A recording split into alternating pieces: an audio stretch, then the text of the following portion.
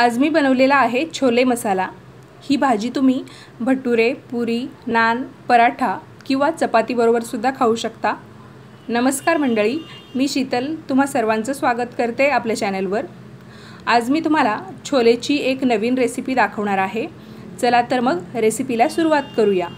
छोले मसाला बनवण्यासाठी इथे मी एक छोटी वाटी काबुली चणे रात्रभरासाठी भिजवून घेतलेले आहे आणि एक बटाटा साल काढून स्वच्छ धुवून घेतलेला आहे.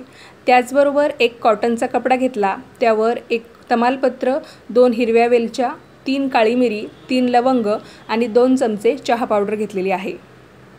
याची आपल्याला एक छोटीशी पुरचुंडी बांधून घ्यायची आहे.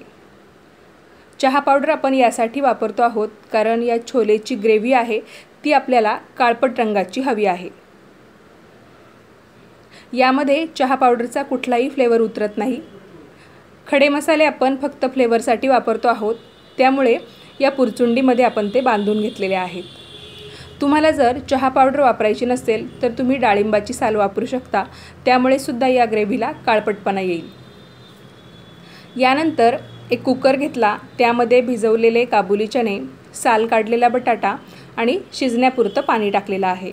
तर दीड ग्लास पाणी यामध्ये मी टाकलेलं आहे आणि मसाल्यांची जी पुरचुंडी आपण बांधून ठेवलेली आहे तीसुद्धा टाकलेली आहे.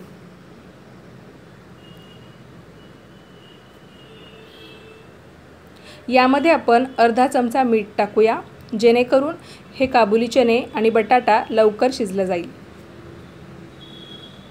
आता कुकरला झाकण लावूया. हा कुकर गॅसवर ठेवूया. गॅसची फ्लेम मिडियम टू हाय ठेवून साधारणतः पाच शिट्ट्या आपल्याला याच्या करून घ्यायच्या आहे.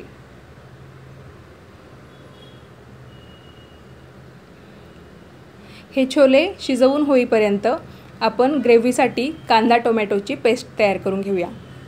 एक मिक्सरचं भांडं घेतलं त्यामध्ये एक छोटासा आल्याचा तुकडा एक कांदा जाडसर चिरून घेतलेला आहे तो टाकलेला आहे आणि दोन टोमॅटो फोडी तयार करून घेतला आहे. टोमॅटो चांगला पिकलेला वापरायचा. तर मिक्सरमध्ये याची एकदम बारीक अशी प्युरी तयार करून घेतलेली आहे. एका बाउलमध्ये ही प्युरी आपण काढून ठेवूया.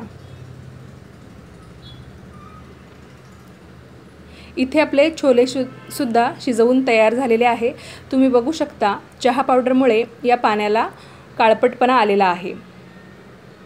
आता एक चाळणी घेऊया आणि त्यावर हे छोले काढून घेऊया. मसाले आणि च चहा पावडर बांधलेली जी पुरचुंडी आहे ती आपण आता काढून टाकूया. कारण मसाल्यांचा जो फ्लेवर आहे आणि चहा पावडरचा जो काळपटपणा आहे तो आता पाण्यामध्ये उतरलेला आहे.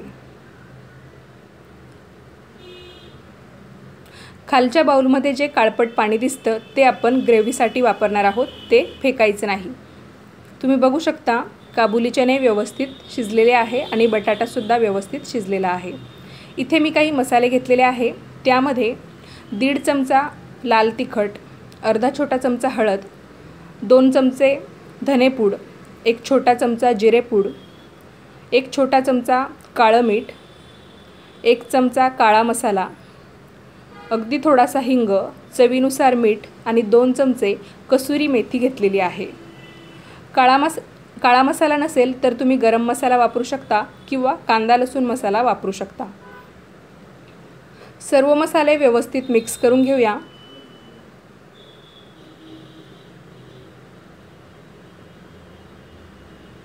त्याचबरोबर पनीरचे काही तुकडे मी करून घेतलेले आहे.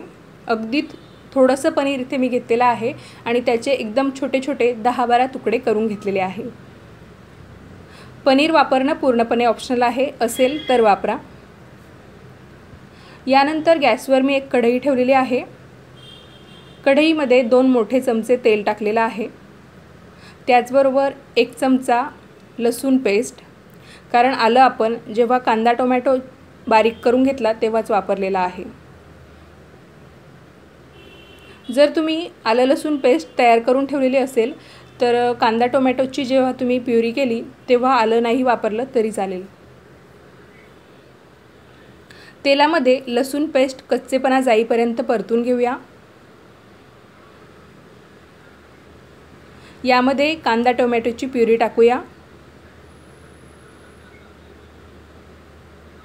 दहा मिनिटासाठी ही कांदा टोमॅटोची प्युरी आपल्याला तेलामध्ये व्यवस्थित परतून घ्यायची आहे.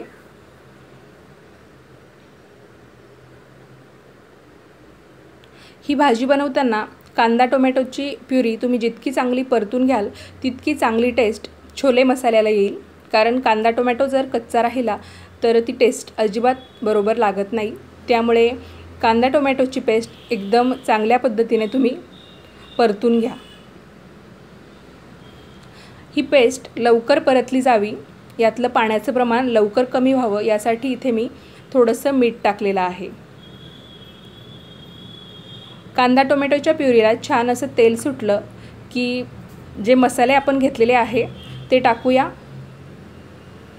मसाले अगोदरच डिशमध्ये काढून घ्यायचे ज्या पद्धतीने मी काढून घेतलेले होते त्याचप्रमाणे. जेणेकरून तुम्हाला नंतर एक एक मसाला टाकण्याची गरज पडणार नाही. हे मसाले टाकल्यानंतर व्यवस्थित कांदा टोमॅटोच्या प्युरीमध्ये मिक्स करून घेऊया आणि तेल सुटेपर्यंत परतून घेऊया. हे मसाले परतवत असताना गॅस एकदम कमी ठेवायचा आहे. हवं तर तुम्ही झाकण ठेवून पाच मिनिटासाठी वाफ काढून घेऊ शकता.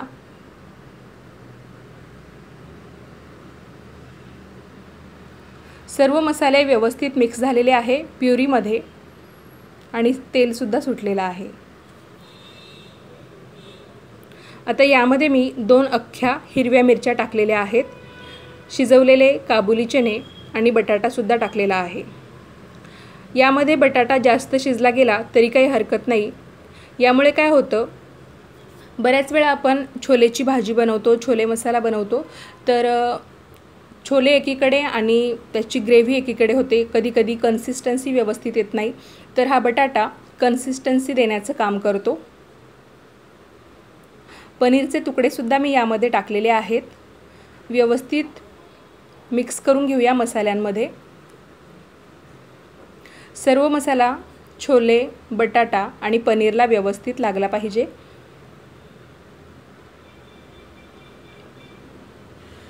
आता या मसाल्यांचा फ्लेवर छोले पनीर आणि बटाट्याला व्यवस्थित उतरावा म्हणून मी झाकण ठेवलेलं आहे. पाच ते दहा मिनिटासाठी आपण वाफ काढून घेऊया. गॅस एकदम कमी ठेवा जेणेकरून छोले कढईच्या तळाशी लागणार नाहीत किंवा जळणार नाहीत. वाफ काढून घेतल्यानंतर मी झाकण काढलेलं आहे. आता यामध्ये आपण ग्रेव्ही वाढवण्यासाठी पाणी टाकूया. छोले आणि बटाटा शिजवताना आपण जे पाणी काढून ठेवलेलं होतं तेच ग्रेव्ही वाढवण्यासाठी वापरलेलं आहे. जेणेकरून या ग्रेव्हीचा रंग काळपट येईल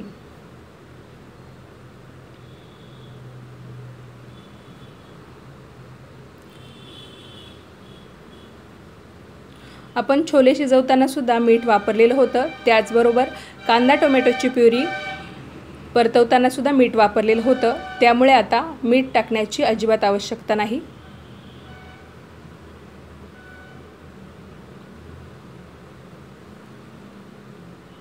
साधारणतः दहा ते पंधरा मिनिटासाठी या छोलेच्या भाजीला एक व्यवस्थित उकळी काढून घेऊया. इथे आपला छोले मसाला तयार झालेला आहे. एका बाउलमध्ये आपण तो सर्व करूयात.